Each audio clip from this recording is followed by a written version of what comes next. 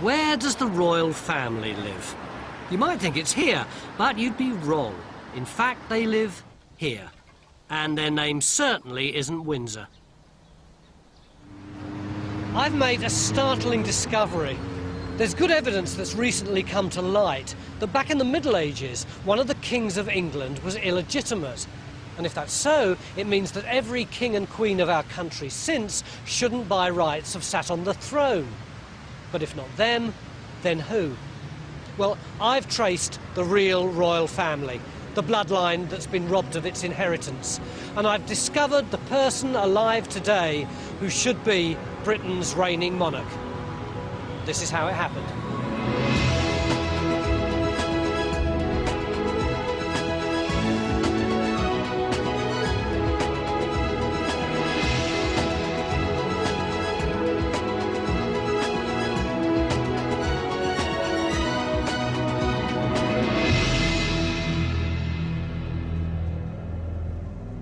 Doing making a fuss about a centuries old skeleton in the royal family's closet?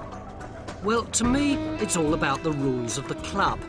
The monarchy rests entirely on blood and inheritance. There's an absolutely rigid system for passing on the throne.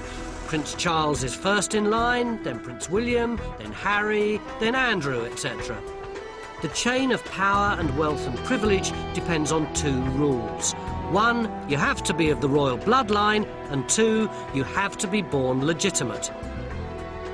But what happens if the system goes wrong, if the chain gets broken?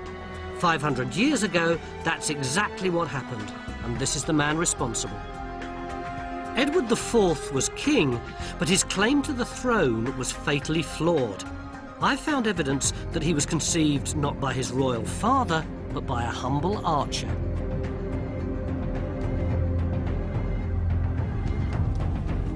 It was the summer of 1441. England was at war with France. Edward's mother had gone there with her husband. While he was away fighting, she was rumoured to have had a fling with an English archer based in the Rouen garrison. Nine months later, Edward was born. Within 20 years, Edward became Edward IV.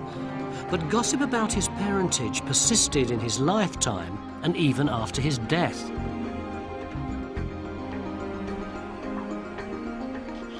There were rumours flashing round the Tudor court that Edward was illegitimate, and William Shakespeare actually articulates those rumours. He says in Richard III, if I can find it, um, when that my mother went with child of that insatiate Edward, Noble York, my princely father, then had wars in France, and by true computation of the time, found that the issue was not his begot. That's pretty clear, isn't it? But the gossip was just that. There was no proof. Historians put it down to political mudslinging. But then an English historian called Mike Jones started rooting around in the archives at Rouen Cathedral. And he discovered a document that for the first time provided facts to substantiate the rumours that Edward was a bastard. When you came here, what was it you were researching? I was looking into the records of the Hundred Years' War. And you found this thing? This register. What is it? It's a record of the cathedral chapter for the summer of 1441. What's so significant about the summer of 1441? This is when Edward would have been conceived. And what was it that you found? That the Duke of York, his father, is not actually where he should be. He's on campaign in Pontoise. Prayers are being offered for his safety. What does it say? It says, sermon, a sermon is being preached for the safety of the Duke of York on campaign in Pontoise. So they're worried that he's away at the very time when he was supposed to be impregnating be. his wife. Yes. But couldn't the child have been premature? Very, very unlikely. A premature child would have been, that would have been recorded. No one had ever understood the significance of this information before you found it? I couldn't quite believe it myself, that, that something as scandalous and sensational as this could have really happened. But this is really definite. This is the original document. It's the original document, and it shows that at the crucial time, from July through to August, the crucial five weeks, the father is not there. Edward was born in late April 1442. Counting back 40 weeks earlier puts his conception right in the middle of the five-week absence of his supposed father. Now, conception dates aren't an exact science, but five weeks is a big gap. Infant mortality was very high. Sick or premature babies with a claim to the throne were a risk, and chroniclers always recorded them. What's more, this new evidence binds together other clues about Edward's birth, which had previously been glossed over. First, the Rouen Cathedral records also tell us that Edward's christening was a hushed-up affair in a side chapel. In contrast, his younger brother had the whole of Rouen Cathedral opened up in celebration. Second, the lantern-jawed Edward looked nothing like the thin-faced man who was supposed to be his father. And thirdly, neutral sources tell us that his mother herself declared that Edward was a bastard, even making a legal deposition. She knew that the truth was vital to the integrity of the royal line.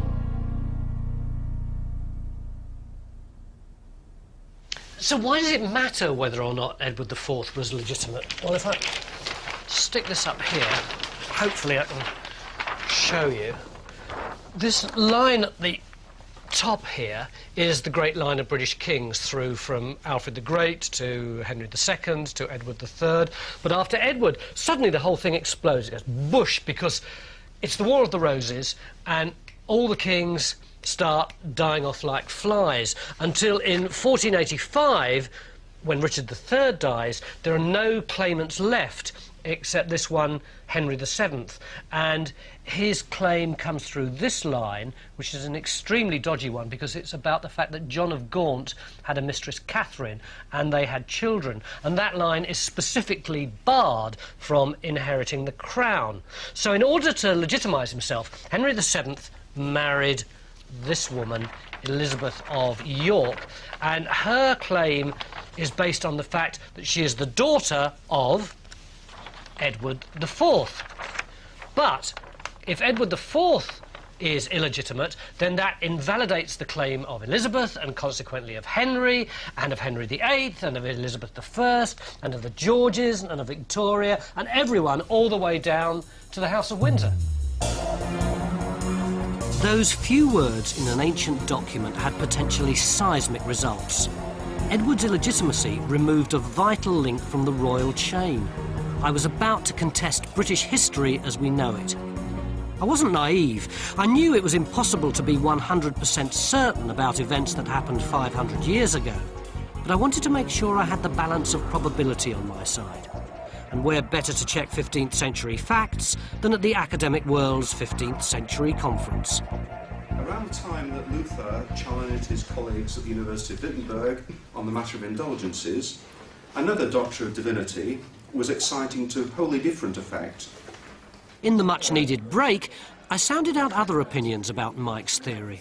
Do you think that there's a question mark over Edward's legitimacy? I think there is. Um, it was certainly raised at the time, fairly, fairly close to, uh, to, to, the time. It's a dynasty that destroys itself. If you, you start killing your brother and things of this sort, uh, there's something odd going on. It's a very unstable time, I think, under Edward IV. Well, his, his research is very, very thorough and well done. On this particular topic, um, we're talking about an issue where everybody has said it's impossible in the past, it's nonsense, it's rubbish. And what Michael has done is he's shown it's feasible or plausible. I also talked to Mike again, who gave me one more plank of evidence, this time from Edward himself. Edward and his followers seem to have been suspiciously eager to tell the world that he was legitimate. His own circle, once the story gets out, go to the opposite extreme to try and dampen it down. But that's what's so fascinating. So they're bringing out these wonderful eulogies to, to Edward, but they keep having to emphasize what should be obvious.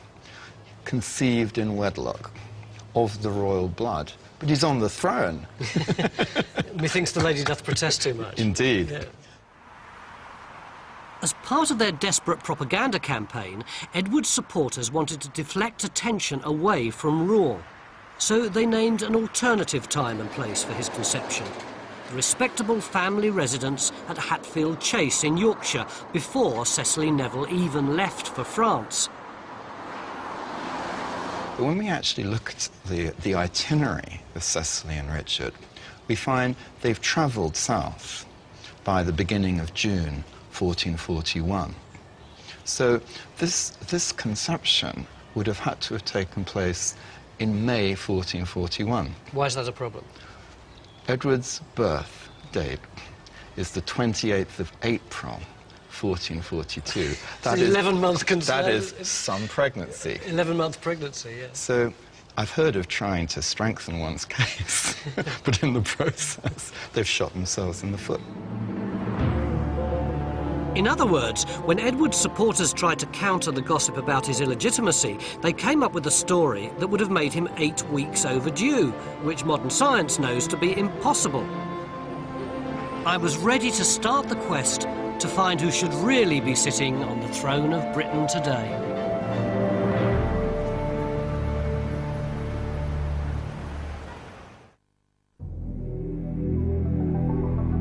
Ancient document in Rouen Cathedral has shown that King Edward IV was illegitimate. But you're only royalty if you're related to the right people. So Edward's unfortunate beginnings means that every royal since has been unwittingly living a lie. So, if not Henry VIII, good Queen Bess, Queen Victoria, or the present incumbent, then who? Where should the royal line have gone? Forget the history you know, prepare to meet a Queen Margaret I, a King Henry X, and Queen Barbara I. But in tracing the rightful heirs to the throne, I wanted to follow the established royal rules exactly. As I'm no genealogist, I decided to start at Debrett's, the acknowledged experts on inheritance and the aristocracy. We We've been doing a lot of work on Richard III and Edward IV, and we've come to the conclusion that Edward IV definitely was illegitimate. But I'm a bit stuck on working out where we should be looking for the true monarchical line once that happens. What, what, what are the rules here? Uh, well, uh, I'll get to family tree, and that will help to illustrate this, uh, this question.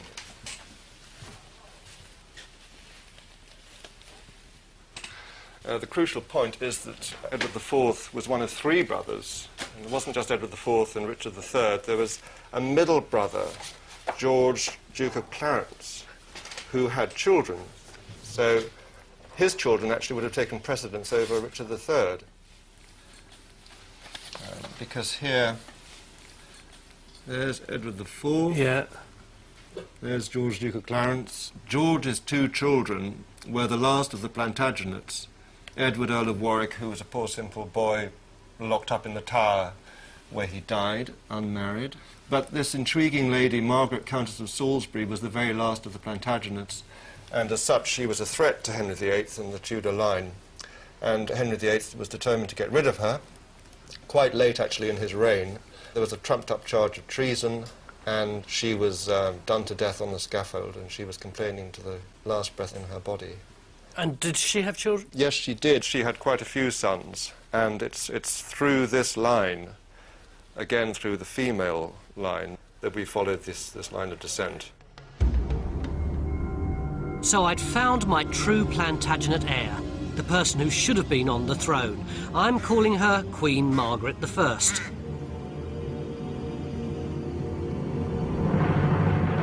Plantagenet claim was so strong that the Tudors made a concerted attempt to wipe them out. Margaret and her sons were executed by Henry VIII.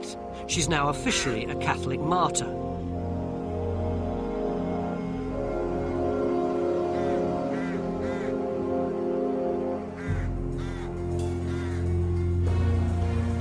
But her descendants survived. From Margaret, I had to trace an alternative royal family.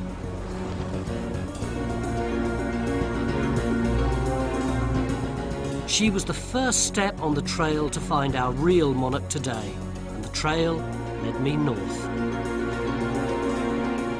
The power base of our rightful rulers was a world away from Windsor and Westminster in Ashby de la Zouch in Leicestershire. Why Ashby? Well, it was the stronghold of the Hastings family. Queen Margaret's granddaughter married into this family. It was the offspring of this Hastings Plantagenet line that I had to follow. Everybody has a family, everybody has roots, and I began to uncover the sort of extraordinary personal stories that everyone finds when they explore their family tree. The only difference was that the Hastings lived in a massive castle, and but for an accident of history, they would have been ruling the country.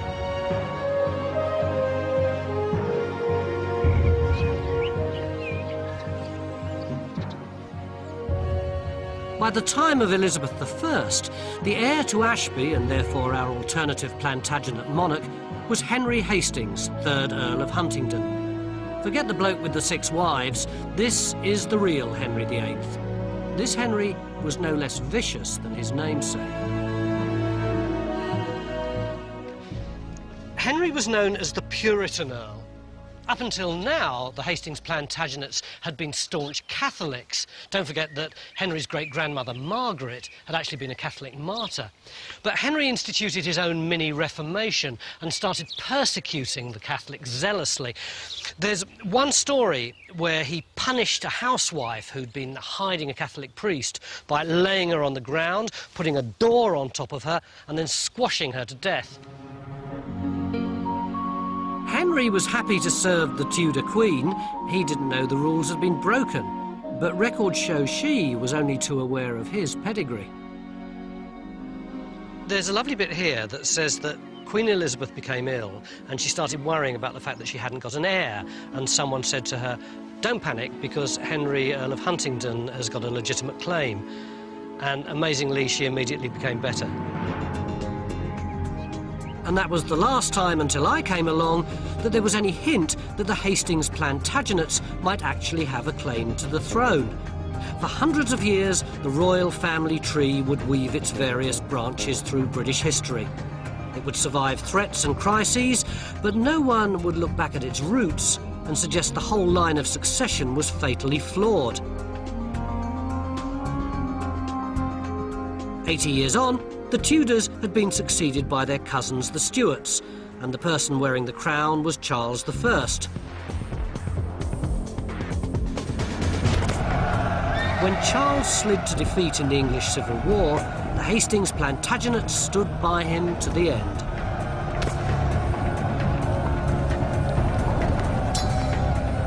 Supporting the king cost them their family seat here at Ashby, which was slighted by Cromwell's troops.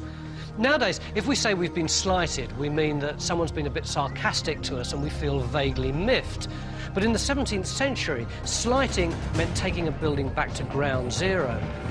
You can see what Cromwell's men did here. They completely blew up half the building. These massive walls completely gone.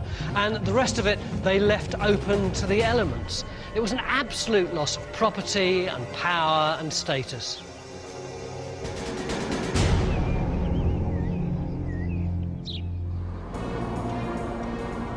On their behalf, I was outraged at the irony that our Plantagenet family should have lost so much through sticking by the royals who'd supplanted them. But aristocracy has an uncanny knack of clawing its way back. As I followed the alternative royal family down the centuries and across the country, their depleted fortunes were restored. Ashby was replaced by other magnificent family seats. But then, just as I was well on my way to finding a candidate for Britain's real monarch alive today, I stumbled on a completely unexpected and dramatic clash between our alternative line and the monarch of the day.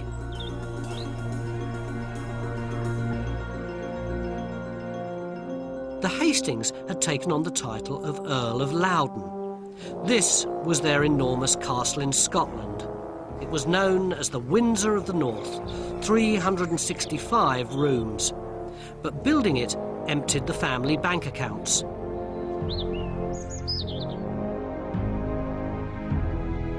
It was the first year of the reign of Queen Victoria.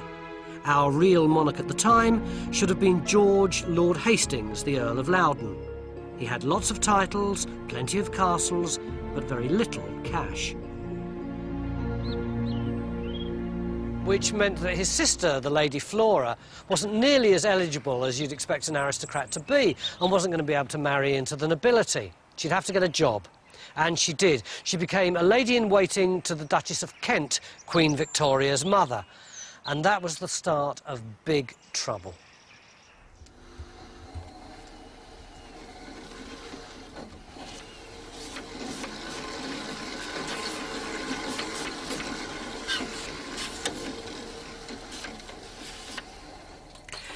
For the very first time, our royal family hit the headlines. Flora found herself right in the middle of a national scandal. It wasn't her fault. She was the victim of a family feud involving Queen Victoria, Queen Victoria's mother, who Flora was lady in waiting to, and a man called Sir John Conroy, who'd been acting as Victoria's unofficial stepfather since Victoria's real father died when she was eight months old. Nowadays, newspapers print gossip about royal sex lives at the drop of a hat, but in 1839 they had to be much more circumspect. Nevertheless, nothing could stop the gossip that Sir John Conroy was far more than her mother's private secretary. Victoria hated him for that. She called him the monstrous devil incarnate. When she came to the throne, she had two ambitions. One was to get rid of all the immorality of the Regency period, and the other was to get rid of Sir John Conroy and that is where Flora comes in.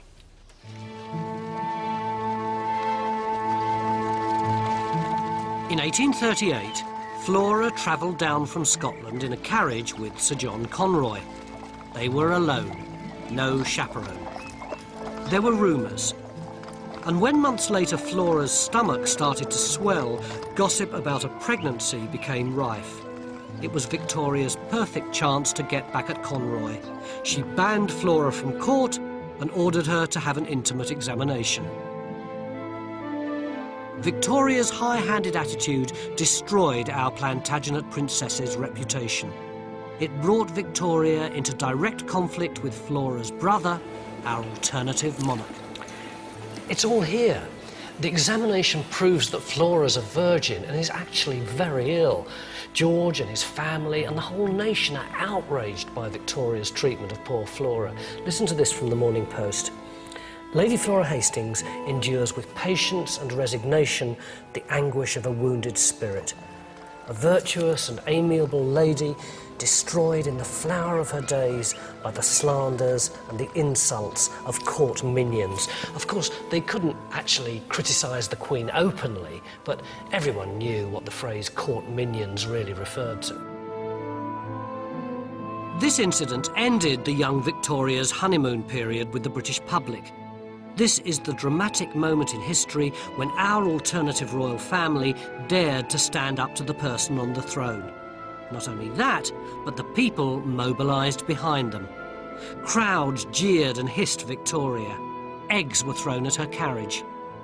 This is big news. This is the Watergate of its time. Imagine it, when Princess Di died in the car crash and the Queen's popularity was at its lowest, no one actually took to the streets. But here, with this incident of the eggs, you can see the level of public outrage. But it got even worse because in the July, Flora died of liver cancer. Here's her obituary just there. Public now were at boiling point. Queen Victoria could scarcely go out of the palace, whereas Flora was regarded as a victim, some kind of martyr figure almost. But what the newspapers can't show you is what was going on in private.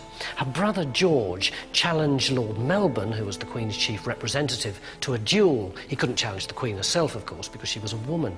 In other words, here you've got our Plantagenet George IV going head to head with the chief representative of the heir to the Tudor throne. In the event, the duel never took place. But the tragedy was neither forgiven nor forgotten by the Hastings family. They issued their own stamps in her memory. Flora was buried in state at Loudon. The Union flag was never flown again over the castle.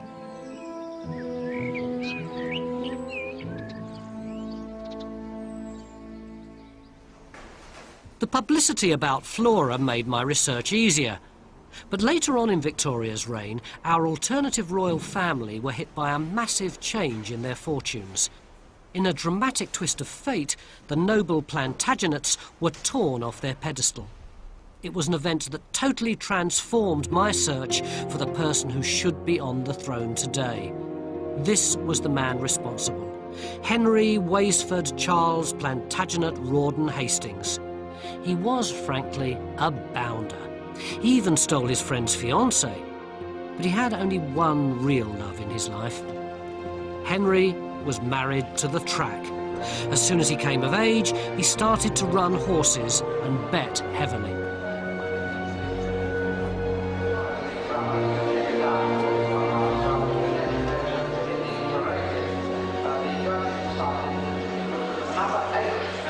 Can I have uh, tennis win on Turner? Number seven, ten pounds. If I wanted to make a really big bet here, would you take it? It depends how big a bet you're talking about, really. Five and a half million. I think you might struggle. Certainly a good one, anyway.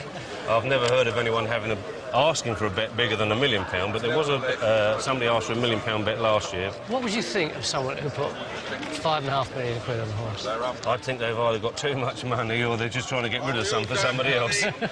Well, that's exactly what Henry Hastings did. He'd already spent virtually all of the family fortune, about a £100 million pounds in today's money. He just got £120,000 left. That's five and a half million today. And he put it all on one horse in one race to win. It was the 22nd of May, 1867, the Derby. Henry had backed the odds-on favourite, Verdun.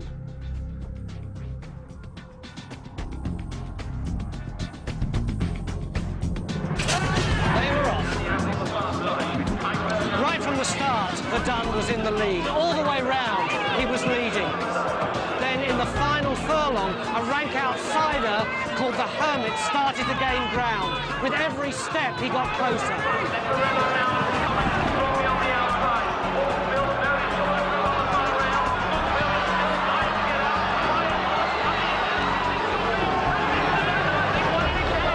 The line, the Hermit won by a neck. The sport of kings had destroyed our King Henry X. By the age of 25, our Henry X had frittered away the family fortune, running up millions of pounds of debts.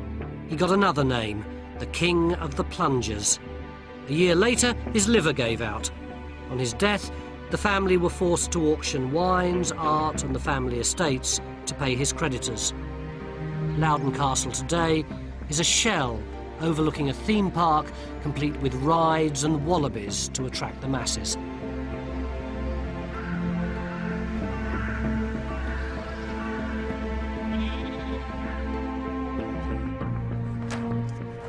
Suddenly, our alternative line had run slap bang into the real world.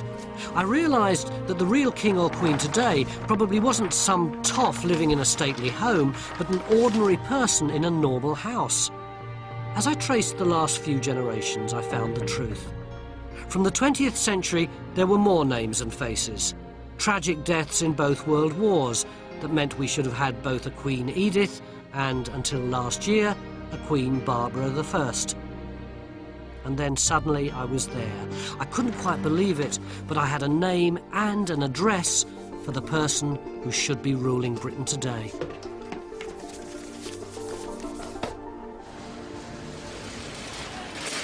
In 1960, when the present occupant of Buckingham Palace was still in the first decade of her reign, a young man set sail from England.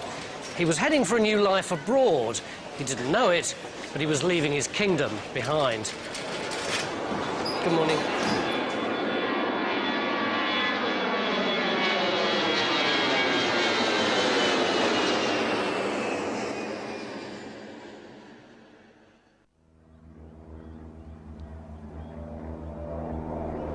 After discovering a flaw in the royal succession, I traced the line of true kings and queens that leads to the person who's Britain's real monarch. But he'd emigrated.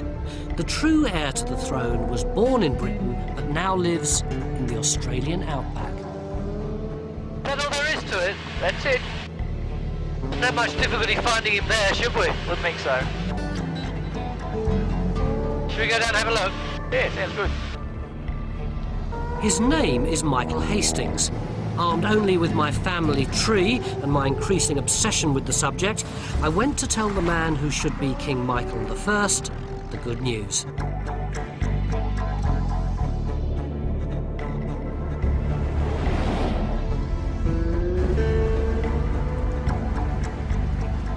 As I drove into Jerilderie, New South Wales, population 1100 plus one king, I began to realise how daft this might look.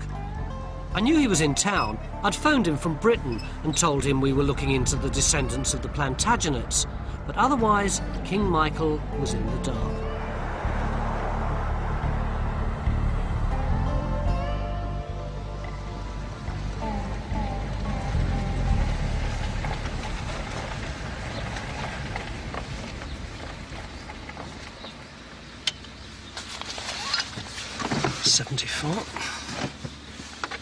12,000 miles, two and a half days, and a lot of jet lag, and uh, I'm finally here. And to be honest, I'm not quite sure how to play this. I mean, if someone turned up on your doorstep and said, Excuse me, do you know that you're the King of England? You'd be a bit surprised, wouldn't you? Particularly if they had uh, a director with them and a sound man and a cameraman. So I think what I'll do is I'll uh, just talk to him about some of the facts first of all relax him a bit and then uh, hit him with the uh, real import of what we've got to say at the end.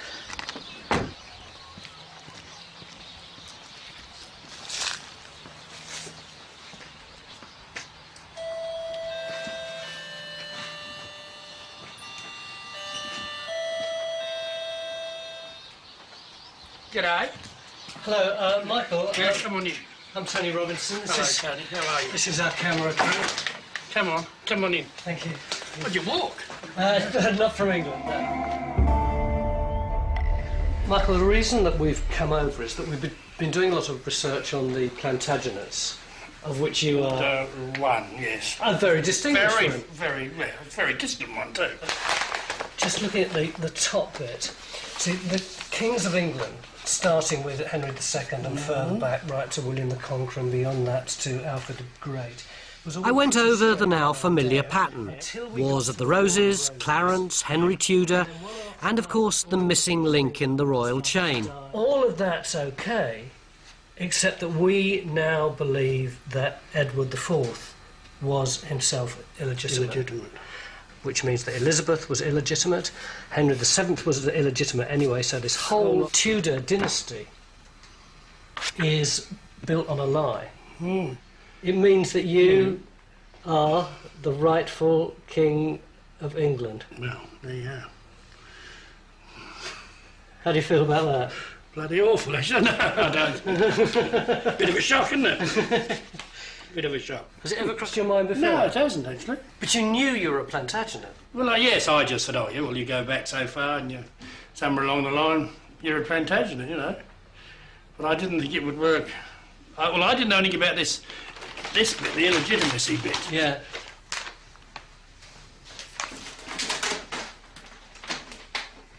Oh, wow. It turned out that Michael also had a family tree.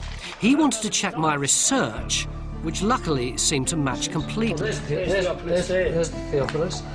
Yeah, 1729 to 1789. And then he had a, a, a son and a daughter, Francis. They were all there. Margaret the Martyr, Lady Flora, our gambling Henry X, as well as Michael's nearer relatives. She'd have been Edith the First. 12th Countess, yeah.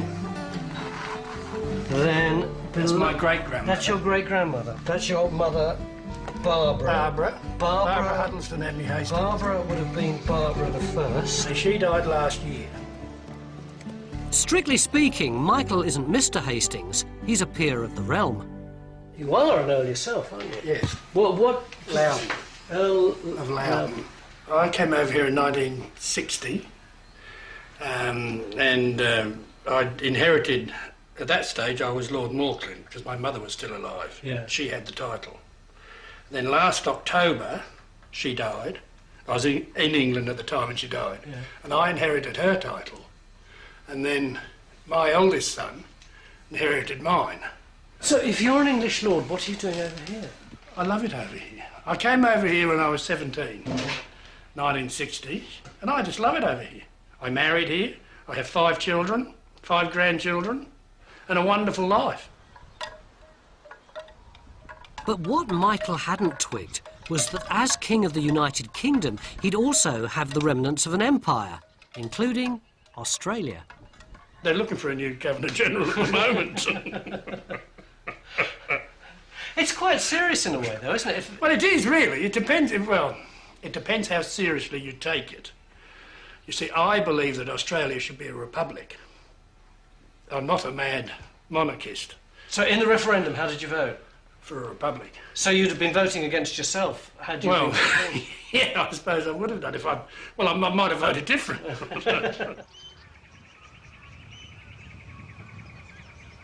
Two of Michael's daughters also live in Jerilderie.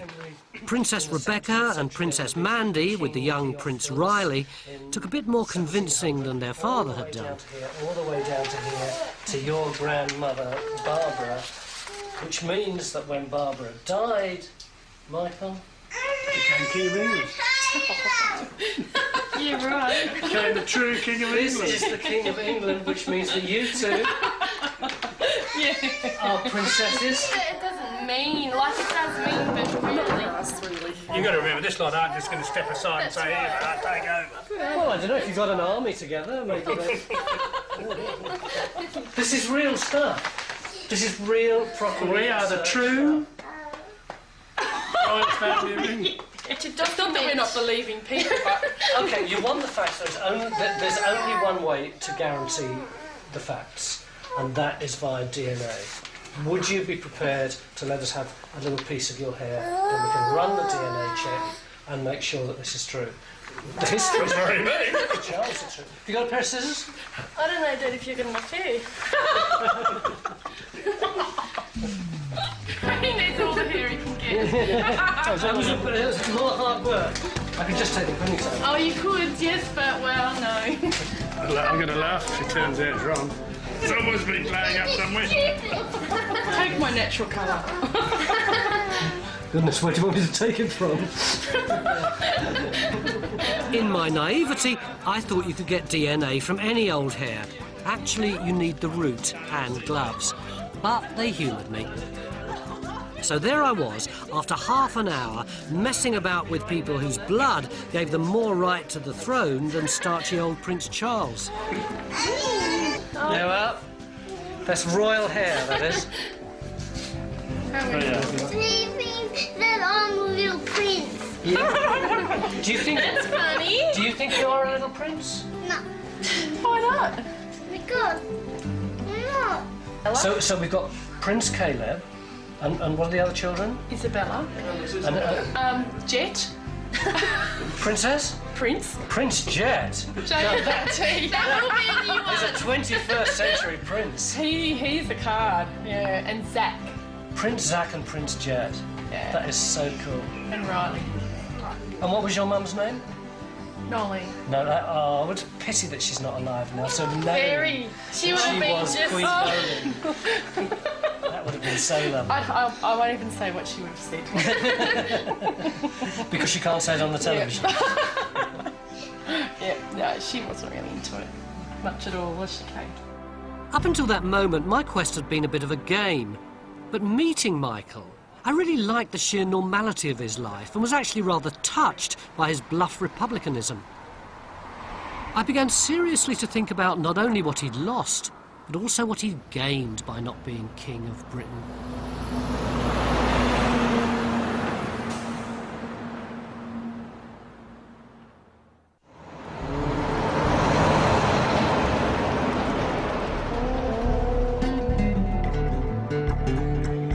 Not Balmoral, not Sandringham, not Windsor, but Jerilderie in Australia, home to Britain's real monarch. Because if you think this is the royal family, think again. According to my calculations, this should be King Michael I, and his family include Simon the alternative Prince of Wales, Marcus, Lisa, Princes Jet, Zac, Caleb, and Riley, not forgetting little Princess Isabella.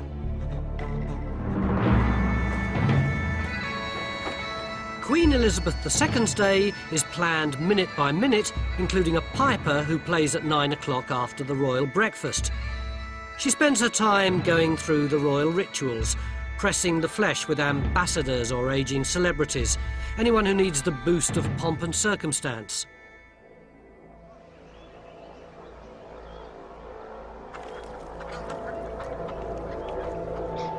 Michael's day begins at 7.30, when he sets out on a half-hour drive to work.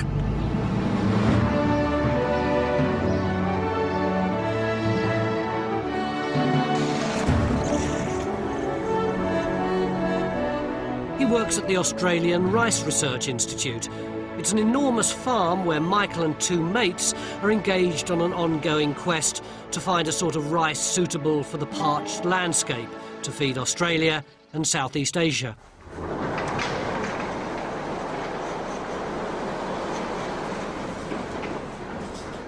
Yeah, I don't know what fertiliser we got left, Mike, but Oh, so we'll have a look through these bins. Do you want to start, start, Start chucking putting them them in in. the Bedford? All right. And I'll, Matt and I might try and work out what's in the other bins. One of the interesting things about our Plantagenet king is that he started off as a standard British public school boy with the title. But something in his character transformed him into a regular Aussie bloke who'd vote to get rid of the monarchy. Like Prince Harry, Michael came to Australia to do some jackarooing in a sort of gap year. But his temporary stay became permanent. After a couple of other jobs, I joined a company called Denny's Lascelles. They were a stock and station agency. A stock and station agency over here is a combination of kind of buying and selling properties and sheep and cattle and all that kind of thing. And they sent me to Jerilderie. That's how I started in Jerilderie. That was in 1966, and I've been there ever since. It's a very small town. What's in it for you?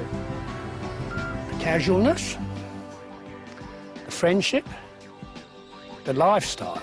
That's the bit I like. After only a couple of days in the bush, I could see what attracted our real king to the tough but uncomplicated Australian lifestyle. I think I'd kick if you did that to me.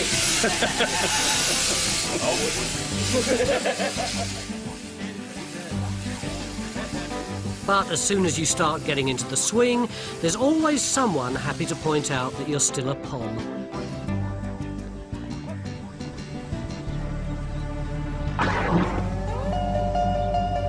Forty years on, I'm still a pom, or that pommy bastard, you know, one or the other. Yeah. Oh yes, well that, that's that's typical Australian, mate. Oh yes. You know, I, I, I don't think I'll ever become a local. It doesn't rankle. No, not at all. Not at all. I spent more time with Michael at work and off duty. He showed me the sights of Jerilderie. To be frank, I'm a city person.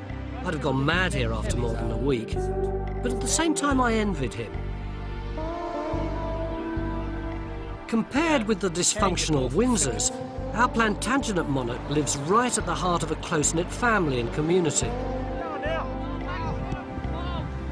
Yeah, Tash! Tash! Tash! Whatever the gags and put-downs, it seemed to me that he'd made a life for himself out here that was far better than any that he could have had as King of Britain. What's all friggin' working? At least I turn up. More than you friggin' do half the time. My wife had red hair. She was fairly fiery. I think I was not quite 21 when I met Noel, and I was 26 when we got married. Um, she probably thought, oh, can I really marry a pommy? What do you think Noelene, an all-Australian girl, would have said if she'd known that she was really the Queen of England? I think she would have probably said, get me another stubby, Michael. I think I'm going to need it. If the Queen abdicated, if she said, I've had enough of it, would you go back? Probably not. Probably not. And I couldn't blame him. But I still wondered what Britain would have been like if our alternative history had happened. We wouldn't have had Henry VIII, so Britain might still be a Catholic country like Ireland. And Britain was only formed because James VI of Scotland became James I of England as well. So there'd be an independent Scotland with its own king. And what about our current royals? Well, we've never had the House of Hanover either, so maybe, just maybe, somewhere in Germany today, a very ordinary and elderly lady who may or may not be called Elizabeth goes to buy a few slices of bratwurst. Guten Tag. 200 Gramm Wurst, bitte. Ja.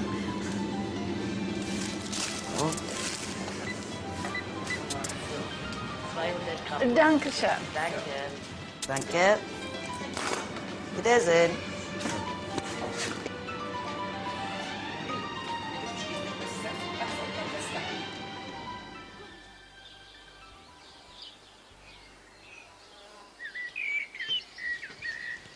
The answer to the question I was asking myself. I now know who should be ruling Britain in another reality. Except, of course, in real life, things are just as they are. King Michael's far too happy down under to think about storming across the seas to occupy Britain and seize Buckingham Palace. So, if that's the case, what was the purpose of the whole exercise? Well, for me, I really understand something now about the nature of history itself. It's fragile, it's accidental. For instance, this is Ashby de la Zouch Castle. It's the epitome of the kind of power that the Hastings had when they were at the height of their dominance. It's strong, it's big, it's confident. Whereas over there is the little house where Michael's mother lived for most of her life. It's unassuming, it's modest, it's normal, just like Michael himself, a million miles away from all the trappings of monarchy.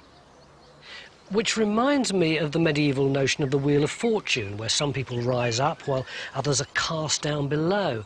And that makes me think of the whole career path of the Plantagenet family. What would have happened if people had cottoned on to the fact that Edward was a bastard much earlier? Or if Henry Hastings' horse had come in first, not second?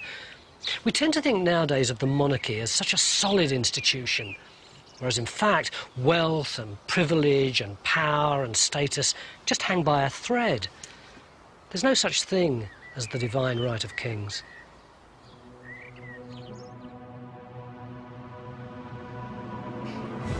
Because we haven't even started to talk about the enormous power that a monarch's got, even No, well, that's right. You know, they, I suppose a lot of the power's been taken, but uh, there's still some around. Do you fancy knighting me? Oh, I don't see why not.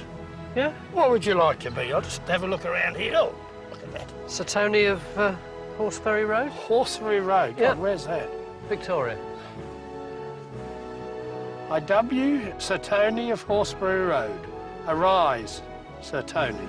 Thank you very much. I feel better for that. Oh, look, I'm glad you enjoyed it. I got a spring in my step. Oh, that's good. That's wonderful.